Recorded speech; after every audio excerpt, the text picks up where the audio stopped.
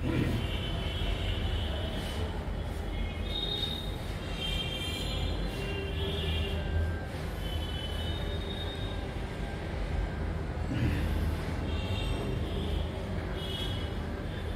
মোহাম্মদ আব্দুল কুদ্দুস, সহকারী অধ্যাপক, ইসলামের ইতিহাস ও সংস্কৃতি বিভাগ, পল্লবী মহিলা ডিগ্রি কলেজ, মিরপুর বারো, পল্লবী, ঢাকা বারোশো ষোলো। অদ্য আমি ডিগ্রি পাস, দ্বিতীয় বর্ষের ইসলামের ইতিহাস ও সংস্কৃতি বিভাগের চতুর্থ পত্রের তৃতীয় ক্লাস শুরু করতে যাচ্ছি। ইতিমধ্যে আমি দুটো ক্লাস, প্রথমটিতে মুঘল বিজয়ের প্রাককালে ভারতীয় উপমহাদেশের জনসাধারণের সামাজিক অবস্থা সম্পর্কে আলোচনা করেছি এবং মুঘলদের ইতিহাসের উৎস সম্পর্কে আলোচনা করেছি। অদ্য আমি ডিগ্রি পাস দ্বিতীয় বর্ষের চতুর্থ পত্রের ইসলামের ইতিহাস ও সংস্কৃতি বিভাগের চতুর্থ পত্রের মুঘল বিজয়ের প্রাককালে ভারতীয় উপমহাদেশের অর্থনৈতিক অবস্থা সম্পর্কে আলোচনা করব। আমার আলোচনার শুরুতেই মাননীয় অধ্যক্ষ, উপাধ্যক্ষ, আমার সহকর্মীবৃন্দ সহ অত্র কলেজের শিক্ষার্থীদেরকে এবং ইতিহাস তথা মধ্যযুগের ভারতীয় উপমহাদেশের মুঘল বিজয়ের প্রাককালে ভারতীয় উপমহাদেশের জনসাধারণের অর্থনৈতিক অবস্থা কেমন ছিল তা জানার জন্য আগ্রহীদের আমার অনলাইন ক্লাসে সুস্বাগতম। তো, এ কথা বলার অপেক্ষা রাখে না যে ভারতীয় উপমহাদেশের ইতিহাসে মোগলদের আগমন তথা মোগলদের সাম্রাজ্য প্রতিষ্ঠা এক অবিস্মরণীয় ঘটনা। ভারতের এক চরম ক্রান্তিকালে ভারতীয় উপমহাদেশের শাসক শ্রেণির নানান দুর্বলতা, জনসাধারণের অনৈক্য অসাম্য, বৈষম্য, বিবাদমান জনগোষ্ঠী, নানা পেশার শ্রেণীবিন্যাস এদেশের তথা ভারতীয় উপমহাদেশের মাটিতে মোগল বিজয়কে সহজতর এবং ত্বরান্বিত করেছিল। তাই আমরা দেখতে পাই যে ভারতীয় উপমহাদেশের এক ক্রান্তিকালে লোদি বংশের ধ্বংসস্তূপের উপর মোগল সাম্রাজ্যের প্রতিষ্ঠাতা বাবর তার স্বীয় সাম্রাজ্য প্রতিষ্ঠা করতে সক্ষম হন। আত্মকলহ, রাজনৈতিক অস্থিরতা, অর্থনৈতিক দুর্বলতা সামাজিক শ্রেণীবিন্যাস, অসাম্য বৈষম্য, ক্ষোভ, নির্যাতন, নিষ্পেষণ যে নিত্য নৈমিত্তিক ব্যাপার হয়ে দেখা দিয়েছিল ভারতীয় উপমহাদেশের জনসাধারণের ভাগ্যাকাশে, সেই বঞ্চিত, নিগৃহীত এবং অনাকাঙ্ক্ষিত পরিস্থিতি ভারতীয় উপমহাদেশের মোগল বিজয়কে সম্ভব করে তুলেছিল। আমরা নিম্নে ভারতীয় উপমহাদেশে মোগল সাম্রাজ্যের প্রতিষ্ঠা লগ্নের বা মোগল বিজয়ের প্রাককালে ভারতীয় উপমহাদেশের অর্থনৈতিক আলোচনার শুরুতেই বলতে চাই যে নানা প্রতিকূলতা, শ্রেণীবিন্যাস, জাতিভেদ প্রথা, বৈষম্য, এসব কিছু ছাপিয়েও তদানীন্তন সময়ের সিংহভাগ ভারতীয় জনগোষ্ঠী তাদের অর্থনৈতিক স্বকীয়তা বজায় রাখ- রাখতে সক্ষম হয়েছিল। আমরা এবার ভারতীয় উপমহাদেশের অর্থনৈতিক অবস্থা সম্পর্কে আলোচনা করতে যাচ্ছি। প্রথমে আমরা উল্লেখ করতে চাই কৃষি নির্ভর অর্থনীতি। তারপরে দ্বিতীয় পর্যায়ে থাকছে উৎপাদিত কৃষি পণ্য। তিন নম্বরে আমরা বলব পশুপালন। চতুর্থ নম্বরে আমরা আলোচনা করব শিল্পদ্রব্য নিয়ে। পঞ্চম ধাপে আমরা আলোচনা করব ধাতব শিল্প। ষষ্ঠ ধাপে আমরা আলোচনা করব শিল্প এবং বস্ত্র। সপ্তম ধাপে আমরা আলোচনা করব আমদানি, রপ্তানি। আর অষ্টম ধাপে আমরা আলোচনা করব অন্যান্য অর্থনৈতিক প্রসঙ্গ নিয়ে। যা হোক সর্বপ্রথমে আমরা যে বিষয়টি নির্ধারণ বা নির্বাচন করেছি, সেটা হলো কৃষি নির্ভর। ভারতীয় উপমহাদেশের তৎকালীন অর্থনৈতিক অবস্থা ছিল কৃষি নির্ভর। মুঘল বিজয়ের প্রাককালে তথা মধ্যযুগে শিল্পোন্নত ব্যবস্থা প্রতিষ্ঠিত না হওয়ার কারণে কৃষিকেই অর্থনৈতিক চাকার মূল ভিত্তি হিসাবে ঐতিহাসিকদের নিকট বিবেচিত হতো। আর সেজন্যই আমরা দেখতে পেয়েছি যে তদানীন্তন সময়ে ভারত তথা পৃথিবীর সর্বত্রই মাটি থেকে উৎপাদিত কৃষি পণ্যের উপরই অধিকাংশ ক্ষেত্রে সংশ্লিষ্ট এলাকার জনসাধারণের অর্থনৈতিক অবস্থা নিরূপিত হতো। ভারতীয় উপমহাদেশও তার ব্যতিক্রম নয়। যেহেতু তখন পর্যন্ত আজকের বিশ্বের মতো পৃথিবী শিল্পোন্নত পর্যায়ে পৌঁছতে পারেনি, সেক্ষেত্রে কৃষিকেই কেন্দ্রবিন্দু ধরে তাদের অর্থনৈতিক কর্মকাণ্ড আবর্তিত হতো। মুঘল বিজয়ের প্রাককালে দেখা যায় এই অঞ্চলের জনসাধারণের প্রধান পেশাই ছিল কৃষিকাজ। প্রাচীনকাল থেকে এদেশের কৃষিভিত্তিক পণ্যদ্রব্য আহ, বিদেশে রপ্তানি করা হতো। এবং এই রপ্তানির মাধ্যমে অর্থাৎ কৃষি পণ্য বিদেশে রপ্তানির মধ্য দিয়ে বৈদেশিক মুদ্রা বা বৈদেশিক আয়ের প্রধান উৎসই ছিল এই কৃষি। অর্থাৎ কৃষি নির্ভর আহ, ব্যবস্থাই ছিল বৈদেশিক মুদ্রা অর্জনের প্রধান বাহন মাধ্যম। তাই আমরা বলি যে সেই সময়ে এদেশের কৃষিভিত্তিক উৎপন্ন দ্রব্য যে এলাকায় বা যে অঞ্চলে যেরকম ছিল সেই এলাকায়, সেই অঞ্চলের সেই জনগোষ্ঠীর মধ্যে তাদের অর্থনৈতিক অবস্থা অনুরূপ হতো। সুলতান এবং শাসক অভিজাতদের সচ্ছলতার মূল কারণই মূল কারণ ছিল এই উৎপাদিত ফসল হতে সংগৃহীত কর। বা রাজস্ব। এই উৎপাদিত উৎপাদিত ফসলের কর হতে অর্জিত বা সংগৃহীত কর থেকেই অভিজাত শ্রেণি এবং শাসক শাসক শ্রেণির সচ্ছলতা পরিচালিত হতো বা নির্ভরশীল ছিল। অধিকাংশ ক্ষেত্রে জমির উর্বরতা, প্রচুর বৃষ্টিপাত এবং সেচের সুবন্দোবস্ত কারণে ফসল উৎপাদন আহ, সহজতর ছিল এবং ফসল নদীমাতৃক দেশ হওয়ার কারণে প্রচুর বৃষ্টিপাতের কারণে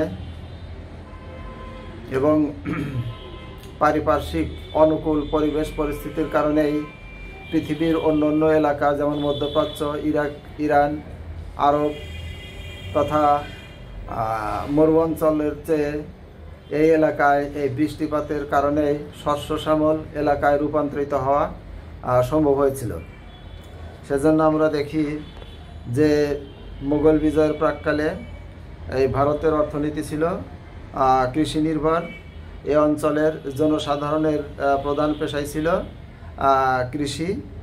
প্রাচীনকাল থেকে এদেশের উৎপাদিত পণ্য থেকে নির্মিত বিভিন্ন দ্রব্য বিভিন্ন দ্রব্য বিদেশে রপ্তানির মধ্য দিয়ে বৈদেশিক মুদ্রা অর্জন করা সম্ভব হয়েছিল।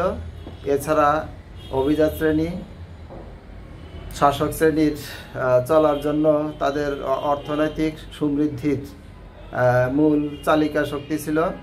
এই উৎপাদিত ফসল থেকে সংগৃহীত রাজস্ব বা কর যা কৃষকদের কাছ থেকে অভিজাত শ্রেণি এবং শাসক শ্রেণি সংগ্রহ করত এবং এটার মধ্য- দিয়ে তাদের অর্থনৈতিক সচ্ছলতা নির্ভর করত। জনসাধারণকে মধ্যযুগীয় পন্থায় অর্থনৈতিক অর্থনৈতিক সুবিধা থেকে বঞ্চিত রেখে, অর্থাৎ যারা অর্থনীতির মূল চালিকা শক্তি বা কারিগর, তাদেরকে বঞ্চিত রেখে তাদের উদ্বৃত্ত, তাদের থেকে অর্জিত উৎপাদিত শ্রমের মাধ্যমে যে রাজস্ব আদায় হতো, সেই রাজস্বর মাধ্যমেই শাসক শ্রেণি, অভিজাত শ্রেণি, তাদের জৌলুস, তাদের তাদের বৃত্ত বৈভব তাদের আভিজাত্য তাদের অর্থনৈতিক সমৃদ্ধ অর্থনৈতিক সমৃদ্ধ বজায় থাকতো। সুতরাং আমরা এটা বলতে পারি যে পৃথিবীর অন্যান্য তুলনা এলাকার তুলনায় যেহেতু ভারতীয় উপমহাদেশে প্রচুর বৃষ্টিপাত হতো, যার ফলে এখানে, এখানকার মাটি কৃষিপণ্য উৎপাদনের জন্য অধিকতর উপযোগী ছিল। এজন্য কৃষি নির্ভর অর্থনীতি সে সময়ে বলবৎ ছিল বলে ঐতিহাসিকদের ধারণা বা কৃষিভিত্তিক অর্থনীতি সমাজে প্রতিষ্ঠিত ছিল। যেহেতু শিল্পোন্নত ছিল না, সেহেতু কৃষির উপর নির্ভর করেই তাদের অর্থনৈতিক কর্মকাণ্ড আবর্তিত হতো। এবার দুই নাম্বার, আমরা মুঘল বিজয়ের প্রাককালে ভারতীয় উপমহাদেশের উৎপাদিত কৃষিপণ্য সম্পর্কে আলোচনা করব।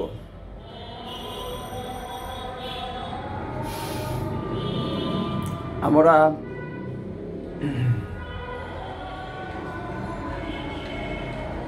মুঘল বিজয়ের প্রাককালে ভারতীয় উপমহাদেশের উৎপাদিত ফসল নিয়ে আলোচনা করার শুরুতেই একথা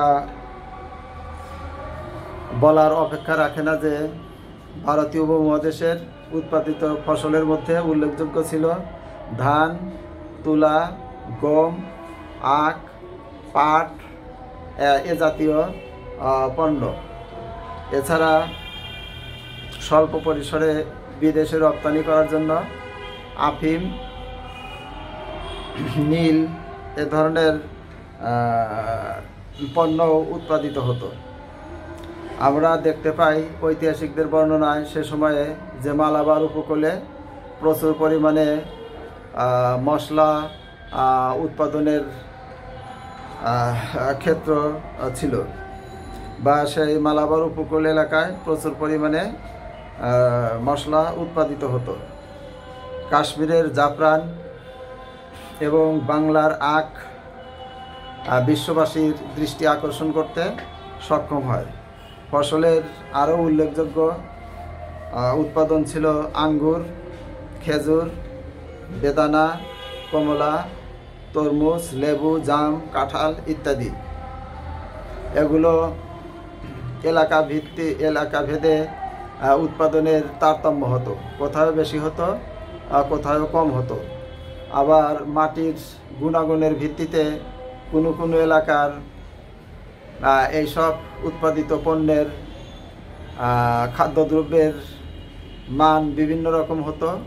আবার উৎপাদিত পণ্যের অন্যান্য দ্রব্য যা খাদ্যদ্রব্য নয় ব্যবহার্য দ্রব্য হিসেবে বিবেচিত হতো আহ, সেগুলোরও গুণগত মান গুণগত মান পার্থক্য হতো।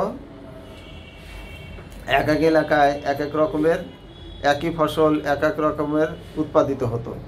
যার জন্য এক একটা ফসল এক এক এলাকায় উৎপাদিত হওয়ার জন্য এবং জনসাধারণের প্রাপ্তির জন্য চিহ্নিত হতো। ওই বিবেচনায় আমরা দেখতে পাই যে মালাবার উপকূলে মশলা ভারতীয় উপমহাদেশের অন্যতম ফসল কৃষি নির্ভরশীল এলাকা বাংলায় আখ তুলা, রাজশাহীর বরেন্দ্রভূমিতে তুলা, রংপুর, দিনাজপুর, এইসব এলাকায় তুলা উৎপাদনের পরিমাণটা ছিল তুলনামূলকভাবে বেশি। সুতরাং আমরা যদি সার সারসংক্ষেপ আকারে বলি, তাহলে আমাদের বলতে হয় যে মুঘল বিজয় প্রাককালে ভারতীয় উপমহাদেশের বিভিন্ন ফসল উৎপাদিত হতো। তার মধ্যে আমরা দেখতে পাই, প্রধান হলো ধান ধান, তারপরে তুলা, আখ, তৈলবীজ, গম জব প্রভৃতি। এছাড়াও এলাকা ভেদে নীল এবং আফিম উৎপাদিত হতো সীমিত পরিসরে, যা বিদেশে রপ্তানির মধ্য দিয়ে বৈদেশিক মুদ্রা অর্জন করা সম্ভব হতো। এছাড়াও কোনো কোনো এলাকায় খেজুর, বেদানা, আঙ্গুর, তরমুজ এইসবের উৎপাদিত হতো এবং নানা ধরনের ফল ফলাদি উৎপন্ন হতো, অর্থাৎ পাওয়া যেত। এবার আমরা ভারতীয় উপমহাদেশে মুঘল বিজয়ের প্রাককালে ভারতীয় উপমহাদেশের পশুপালন সম্পর্কে আলোচনা করব। ঐতিহাসিকদের তথ্যাদি মতে আলোচনার ভিত্তিতে তাদের বর্ণনায় আমরা জানতে পারি যে ভারতীয় উপমহাদেশের অর্থনীতিতে তৎকালীন সময়ে কৃষির পরেই ছিল পশুপালনের অবস্থান। আর এ ধরনের পশুপালনও আহ, কৃষি বিজ্ঞানের ভাষায় এক ধরনের কৃষিরই অংশবিশেষ সুতরাং আমরা দেখি যে ভারতীয় উপমহাদেশে মুঘল বিজয়ের প্রাককালে এদেশের জনসাধারণের পশুপালনের মধ্যে জীবিকার মাধ্যম হিসাবে দ্বিতীয় পর্যায়ে ছিল পশুপালন। এবং ইতিমধ্যে আমরা যেটা উল্লেখ করেছি, আর জমি থেকে উৎপাদিত পণ্য তথা কৃষি উৎপন্ন দ্রব্য কৃষিকাজ ছিল প্রথম, আর দ্বিতীয় পর্যায়ে ছিল পশুপালন। সুলতানি যুগে পশুচারণের জন্য কোনো জমির অভাব ছিল না। এখানে প্রচুর তৃণভূমি ছিল। এই তৃণভূমিতে পশুচারণের মধ্য দিয়ে ভারতীয় উপমহাদেশের কৃষির পরেই দ্বিতীয় অবস্থানে ছিল জীবিকার মাধ্যম হিসাবে পশুপালন। গৃহপালিত পশুগুলোর কাছাকাছি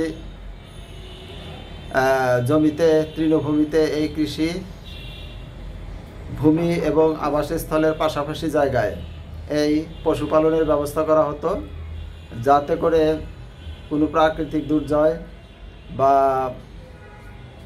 কোনো শ্রেণীগোষ্ঠীর আক্রমণ থেকে পশুগুলোকে রক্ষা করে যায় সেজন্য সাধারণত আবাসস্থলের নিকটবর্তী জায়গায় প্রচুর পরিমাণে তৃণভূমির উৎপন্ন করে, তৃণভূমির ব্যবস্থা করে চারণভূমির ব্যবস্থা করে এই পশুগুলোকে সেসব এলাকায় চড়ানো হতো।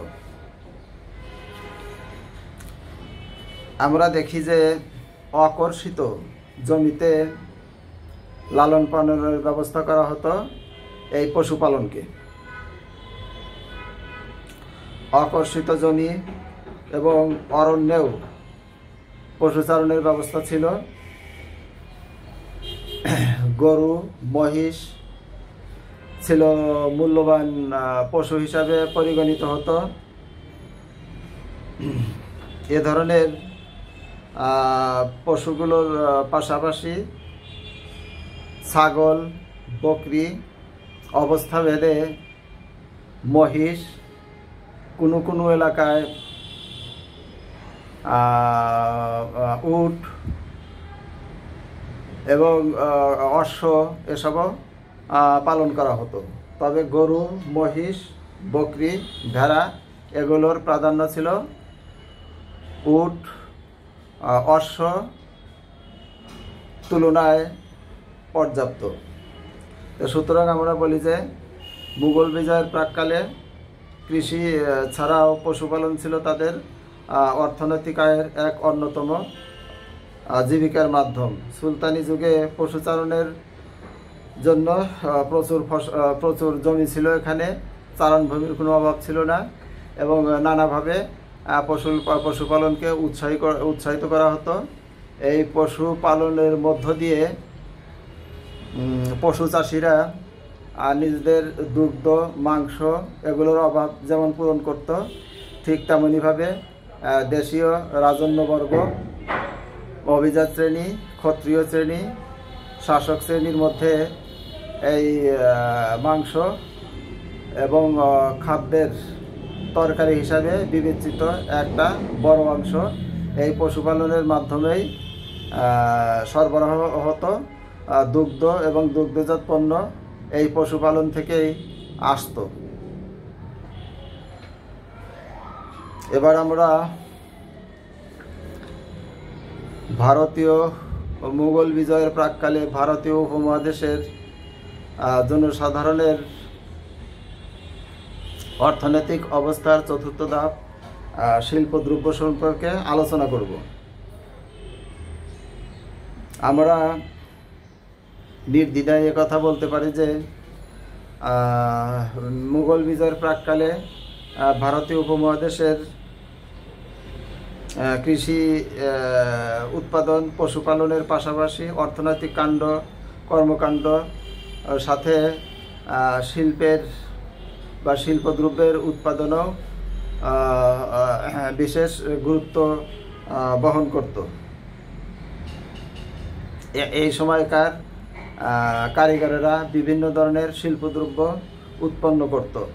আমরা ঐতিহাসিক কে এম আশরাফের মতামতকে গুরুত্ব দিয়ে বলতে পারি যে, অন্যান্য অর্থনৈতিক কর্মকাণ্ডের তুলনায় শিল্পদ্রব্য ভারতীয় উপমহাদেশের কারিগররা যা তৈরি করত তার মান খুব একটা উন্নততর ছিল না তথা নিম্ন পর্যায়ের ছিল। কারণ ছিল যে এদেশ ছিল তখন কৃষি নির্ভরশীল। সুতরাং শিল্পদ্রব্যের মান ভালো ছিল না বলেই বলা যেতে পারে। তবে বহু কারিগর এবং শিল্পী বংশানুক্রমিকভাবে নিজ নিজ পেশাকে, শিল্পধারাকে তারা অর্থনৈতিক দুর্বলতার মধ্যেও পড়লেও সেই শিল্পধারাকে চলমান রাখার জন্য তাদের পৈতৃক সূত্রে প্রাপ্ত ব্যবসা বা পেশাকে তারা ধরে রাখত। আমরা দেখতে পাই যে কর্মকাররা নানা ধরনের অস্ত্র শস্ত্র চাষের যন্ত্রপাতি এসব উৎপন্ন করত। আমরা দেখতে পাই যে চোদ্দ এবং চোদ্দ এবং পনেরো শতকের এদেশে রেশম শিল্পের ব্যাপক প্রচলন ঘটেছিল, যা দেশসহ অভিজাত শ্রেণির মধ্যে সরবরাহ সর সহ বিদেশেও তা রপ্তানি হতো। এছাড়া এ সময়ের তসর, মুগা, খাজ, রেশম প্রভৃতি উৎপাদিত প্রভৃতি উৎপাদিত শিল্পদ্রব্য হিসাবে বিবেচিত হতো। তো আমরা এটা বলতে পারি যে এই কৃষি নির্ভর অর্থনীতি কৃষি নির্ভর অর্থনীতিতে এই শিল্পের অবস্থান ছিল। নিম্ন পর্যায়ে। যেহেতু ভারতীয় উপমহাদেশের জনগোষ্ঠীর সিংহভাগই ছিল কৃষি নির্ভরশীল, যা মাটি থেকে উৎপাদিত হতো এবং খাদ্যদ্রব্য হিসাবে বিবেচিত হতো। এবং অনেক ক্ষেত্রে এই মাটি থেকে উৎপাদিত পণ্য থেকেই মানুষের ব্যবহার্য বিভিন্ন ধরনের কাপড় বিভিন্ন ধরনের পরিধান বস্ত্র তারা তৈরি করতে সক্ষম হয়েছিল। এবার আমরা ভারতে মোগল বিজয়ের প্রাককালে ভারতীয় অর্থনৈতিক পঞ্চম ধাপ, ধাতব শিল্প সম্পর্কে আলোচনা করব। ইতিমধ্যে আমরা যে বস্ত্র, শিল্প বা শিল্পদ্রব্য সম্পর্কে আলোচনা করেছি। যার মান ছিল নিম্নমানের। তার তুলনায় শিল্পদ্রব্যের তুলনায় ধাতব শিল্পের অবস্থান ছিল অনেক ঊর্ধ্বে। মুঘল বিজয়ের প্রাককালে মুঘল বিজয়ের প্রাককালে তথা সুলতানি যুগে দাতব শিল্পের মধ্যে লৌহ শিল্পের উৎপাদনই ছিল। সবচেয়ে বেশি। এবং এই লৌহদ্রব্যের চাহিদা ছিল বেশি, যা দেশে এবং বিদেশে সরবরাহ হতো। কর্মকাররা অস্ত্রশস্ত্র চাষের যন্ত্রপাতি,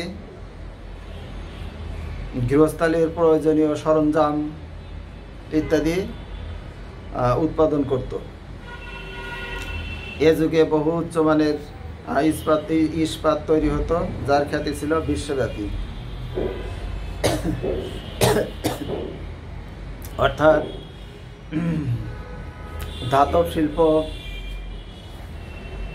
অসামান্য অবদান রাখতে সক্ষম হয়েছিল। ভারতীয় উপমহাদেশের মধ্যে অর্থনৈতিক কর্মকাণ্ডের কৃষি শিল্পের পরেই ছিল এই ধাতব শিল্পের অবস্থান। ধাতব শিল্প বা ভারতীয় উপমহাদেশের ধাতব শিল্প বিশ্বব্যাপী বিশ্বব্যাপী সম্মান অর্জন করতে এবং প্রশংসা অর্জন করতে সক্ষম হয়েছিল। এই ভারতীয়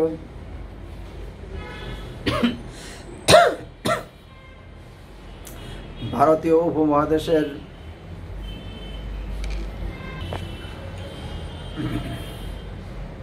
ভারতীয় উপমহাদেশের অর্থনীতির চাকা ঘুরানোর এক বিশেষ অংশ নির্ভর হতো এই ধাতব শিল্পের উপর। ধাতব শিল্পে যেহেতু বিশ্বব্যাপী এক অনন্য অসাধারণ অবস্থান তৈরি করতে সক্ষম হয়েছিল ভারতীয় কারিগরেরা সেজন্য এই পেশার প্রতি অনেকেরই আগ্রহ ছিল এবং দেশের এক বিরাট অংশ এই শিল্পের সাথে জড়িত রেখে তাদের জীবিকা, তাদের অর্থনৈতিক কর্মকাণ্ড পরিচালিত হতো এবং তাদের অর্থনৈতিক সমৃদ্ধি ছিল, যা নিম্ন শ্রেণির তুলনায় অনেক বেশি এবং তারা অর্থনৈতিকভাবে নিজেদেরকে প্রতিষ্ঠিত করতে সক্ষম হয় এই ধাতব শিল্পের মধ্য দিয়ে। বিশেষ করে হাল চাষ, পশুচারণ, তারপরে যুদ্ধের সরঞ্জাম, মৎস্য শিকার প্রাকৃতিক দুর্যোগ মোকাবেলায় বিশেষ করে বন্য প্রাণীর আক্রমণের মোকাবেলায় এই ধাতব শিল্প কাজে লাগতো এবং জনগণের সংগ্রহশালায় তা সংরক্ষিত হতো। এবার আমরা ভারতীয় উপমহাদেশের মোগল বিজয়ের প্রাককালে অর্থনৈতিক কর্মকাণ্ডের ষষ্ঠ ধাপ বস্ত্র শিল- শিল্প সম্পর্কে আলোচনা করব। আমরা জানি যে ধাতব শিল্পের চেয়েও বস্ত্র শিল্পে ভারতীয় উপমহাদেশে ব্যাপক উৎকর্ষ সাধিত হয়েছিল। মুঘল বিজয়ের প্রাককালে তথা সুলতানি আমলে ভারতের বিভিন্ন জায়গায় এই বস্ত্র শিল্পের উৎপাদন হতো এবং কারখানা ছিল। তুলা থেকে উৎপাদিত, তুলা থেকে উৎপাদিত উৎপাদিত বস্ত্রশিল্প জনসাধারণের কাপড় চুপুর বা পরিধেয় বস্ত্রের অভাব পূরণ করতে সক্ষম হতো। সে সময় তুলা থেকে তারা কাপড় উৎপাদন করত। অত্যন্ত মোটা সুতার কাপড়ের নাম ছিল কামিনা বা কালিকো। আর চিকন সুতা বা চিকন কাপড় যা তৈরি হতো যে সুতার মাধ্যমে, তাকে বলা হতো বারিক। অর্থাৎ এই বস্ত্র সুতা, বস্ত্র উৎপাদনের সুতাকে দুই ভাগে ভাড়া, ভাগ করা হয়েছিল। একটা হলো কালিকো, যেটা মোটা সুতার মাধ্যমে উৎপাদিত হতো। আর একটি হচ্ছে বারিক, যেটা খুবই সূক্ষ্ম এবং চিকন সুতার মাধ্যমে উৎপাদন করা হতো এবং এই কালিকর তুলনায় বারিক শ্রেণির বস্ত্রের মূল্যমান ছিল অনেক বেশি এবং বিশেষ করে অভিজাত শ্রেণি বা অর্থনৈতিক সমৃদ্ধ প্রাচুর্য যাদের ছিল তারা বেশিরভাগ ক্ষেত্রে এই বারিক থেকে উৎপাদিত বস্ত্র তারা ব্যবহার করত।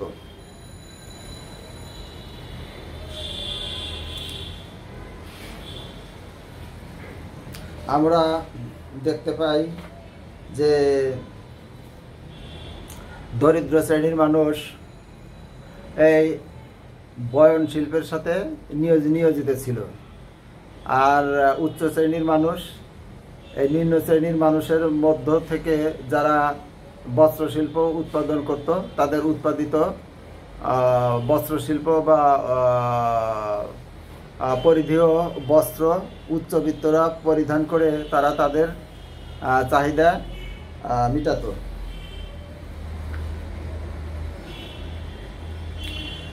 আমরা ঐতিহাসিক আলো- আলোচনা থেকে, তথ্যাদি থেকে জানতে পারি যে নিম্ন শ্রেণির মানুষ সাধারণত এই কালিকা বা কালিকো বা কামিনা এই বস্ত্র পরিধান করত। আর অভিজাত শ্রেণীরা বারিক বা অপেক্ষাকৃত চিকন সুতায় নির্মিত বস্ত্র পরিধান করত। এখানে দেখা যায় যে এই কালিক এবং বারিক, এর মধ্যেও এই দুইটার মাঝামাঝি আরেকটি বস্ত্রের সন্ধান পাওয়া যায়। আর সেটার নাম হলো কিরপাস। এই কিরপাস নামক বস্ত্র সমাজে প্রচলিত ছিল এবং একটা জনসাধারণের একটা বিরাট অংশ এই কিরপাস নামক বস্ত্র পরিধান করত।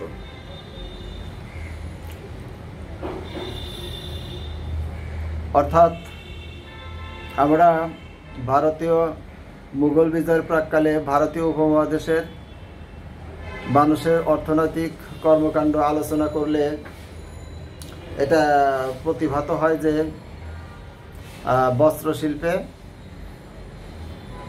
ভারতীয় উপমহাদেশ অনেক উৎকর্ষ সাধিত হয়েছিল এবং এই এলাকার জনসাধারণের সিংহভাগ তথা একটা বিরাট অংশ এই কাজের সাথে, বস্ত্রশিল্পের সাথে নিজেদেরকে জড়িত বা নিয়োজিত রেখে তারা তাদের অর্থনৈতিক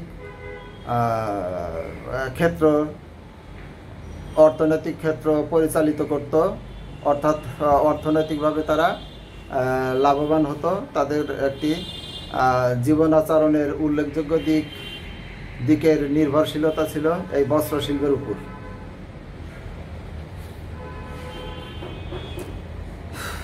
যে এলাকায় তুলার চাষ বেশি হতো সেই এলাকার তুলার উৎপন্ন তুলা থেকে সুতার উৎপাদনও বেশি হতো।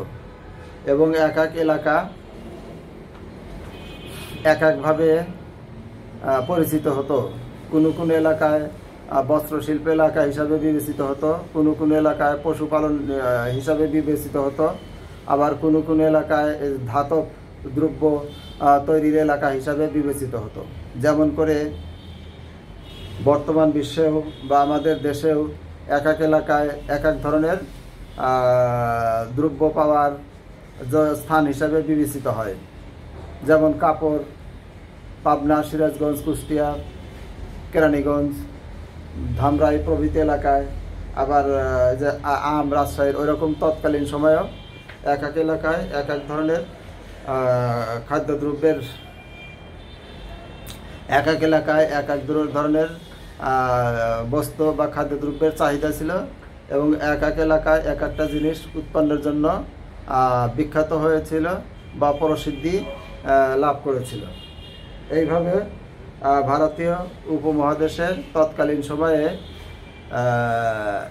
বস্ত্রশিল্প এক বিশাল অংশ দখল করে রেখেছিল।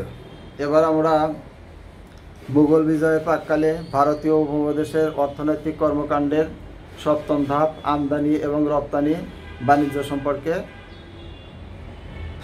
আলোকপাত করব। মুঘল বিজয়ের প্রাককালে তথা সুলতানি যুগে ভারতের জনসাধারণ আভ্যন্তরীণ এবং বহির্বিশ্বের সাথে নানা ধরনের ব্যবসা বাণিজ্য নিয়ে তারা নিজেদেরকে নিয়োজিত রেখেছিল। আমরা দেখতে পাই যে উপমহাদেশের বণিকগণ দেশীয় জনসাধারণের দেশীয় জনসাধারণের তথা শিল্পী কারিগরদের উৎপন্ন শিল্পদ্রব্য এবং কৃষকদের উৎপাদিত পণ্য পৃথিবীর মধ্যপ্রাচ্য সহ পৃথিবীর বিভিন্ন দেশে রপ্তানি করে বৈদেশিক মুদ্রা অর্জন করত। বিশেষ করে নদীপথে সরি জলপথে মধ্যপ্রাচ্য থেকে বিভিন্ন বণিকগণ ভারতীয় উপমহাদেশে আগমন করে তারা তাদের ব্যবসা পরিচালনা করে এবং পাশাপাশি পাশাপাশি তারা তাদের ধর্মীয় প্রচারণা অব্যাহত রাখে। আমরা দেখতে পাই যে মুঘল বিজয়ের প্রাককালে ভারতীয় উপমহাদেশে জনসাধারণ বহির্বিশ্বের সাথে তাদের এই আভ্যন্তরীণ এবং বহির্বাণিজ্য সম্প্রসারিত করতে সক্ষম হয়েছিল। উপমহাদেশের শিল্প উৎপাদনের সাথে সাথে নানা শ্রেণির কাপড় উৎপন্ন হতো এবং এই কাপড়ও বিদেশে রপ্তানি হতো। অত্যন্ত মোটা সুতার, যে কাপড় হতো, সেটা সাধারণত বিদেশে রপ্তানি হতো না, সেটা দেশীয় জনগণ পরতো। কিন্তু মসলিন বা এই জাতীয় চিকন বস্ত্রের যে উৎপাদন হতো সেটা বহির্বাণিজ্যে, বহির্বিশ্বে রপ্তানি করা হতো।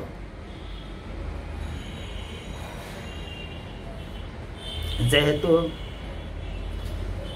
মুঘল বিজয়ের বহু আগে থেকেই জলপথে আহ, আরাবীয় তথা মধ্যপ্রাচ্যের মুসলমানদের ভারতীয় উপমহাদেশের সাথে আসা যাওয়া ছিল এবং তাদের ব্যবসা বাণিজ্য পরিচালিত ছিল। তাই এই ব্যবসা বাণিজ্য সম্প্রসারণের ক্ষেত্রে আরব বণিকদের ভূমিকা ছিল অসামান্য। আরব বণিকরা কৃষিজাত পণ্য নানা ধরনের মশলা তৈজসপত্র এবং বস্ত্র তারা তাদের দেশে নিয়ে যেত। আবার তাদের দেশ থেকেও অনেক পণ্য যেটা ভারতীয় উপমহাদেশে পাওয়া যায় কম বা দুষ্কর, সেই সব পণ্য দেশে আমদানি করত।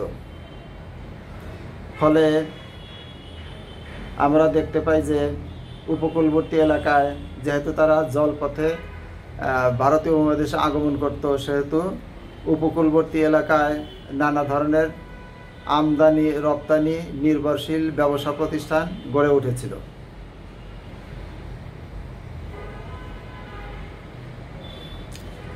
আর আমরা মার্ক পলো, ইবনে বতুতা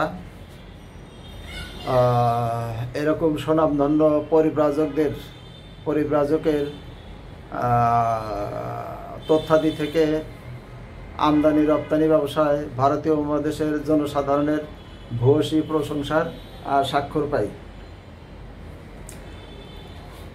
এবার আমরা অন্যান্য শিল্পদ্রব্যর আহ, ব্যবসা বাণিজ্য সম্পর্কে আলোচনা করব।